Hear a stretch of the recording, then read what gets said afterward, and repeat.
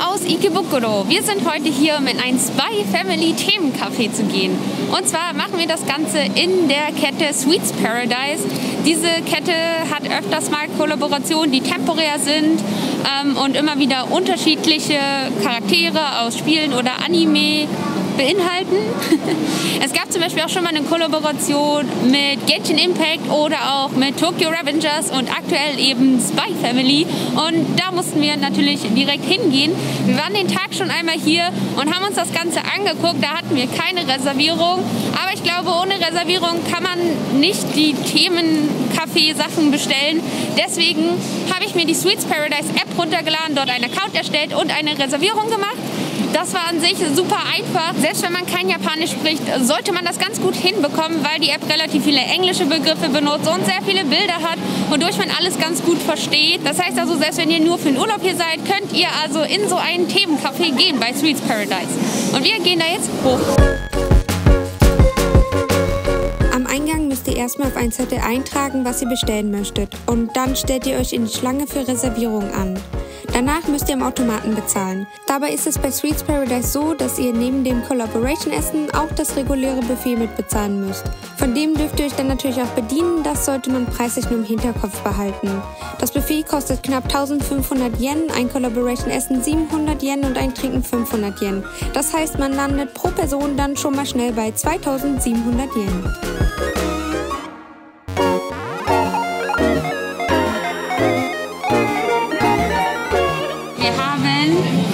Coaster und zwei so Platzspiels.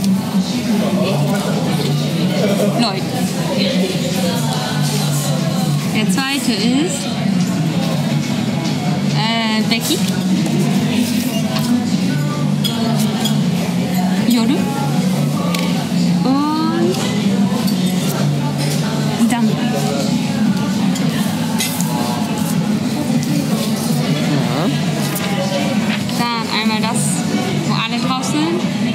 Ganz gut, weil wir haben nichts doppelt, wir haben nur die beiden von den kleinen.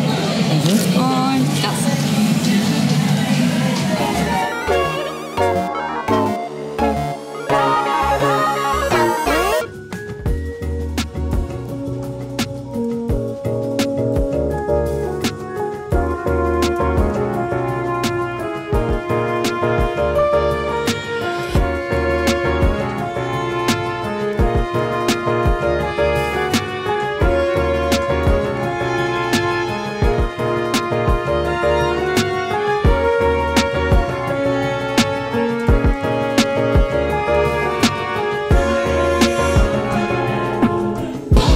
Der Fragen, was haben wir bestellt? Wir haben einmal das Lloyd Omurice bestellt. Wir fragen uns noch, ob da wirklich Reis drin ist, weil das ziemlich flach aussieht.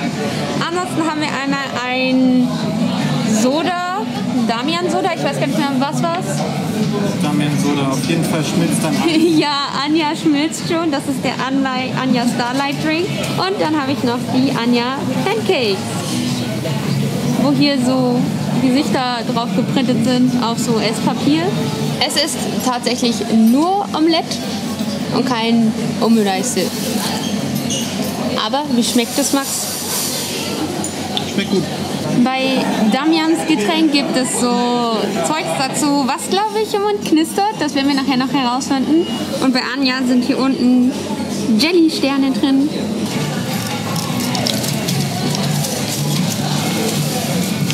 Aber es sprudelt da drin schon. Ist die Frage, ob das sinnvoll war. Aber guck mal, hörst du das? Also auf dem Video hört man es wahrscheinlich nicht, aber der Drink knistert auch. In meinem Mund höre ich sehr doll. Das ist irgendwie, glaube ich, Erdbeersoda mit Erdbeereis. Ich meine, mit Erdbeer kann man nicht viel falsch machen. Hier ist, glaube ich, Erdnussbutter. Und da sind auch ein paar Erdnüsse dazu. Und hier ist wahrscheinlich noch irgendwie Honig oder wahrscheinlich eher Ahornsirup oder sowas. Das Traurige an so einem Themencafé ist halt, man muss die Charaktere auch essen. Beiß ich jetzt seinen Kopf ab oder seine Beine? Das Oder darfst du entscheiden.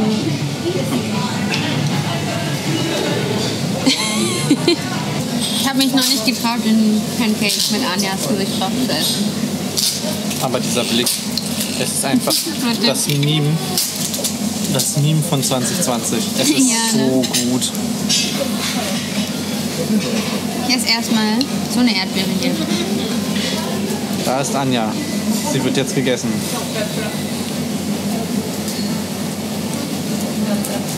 Schmeckt sie denn auch so süß? Es ist halt sehr geschmacksloses Esspapier. Ich werde jetzt leider. Nein, nein. Boah. Das ist halt so komisches Papier, das, das zieht sich so ganz komisch. Man kann das nicht so richtig durchdrehen. Das sieht gerade sehr brutal aus. Boah, sie wurde auseinandergerissen. Und, Und gedippt. eingedippt.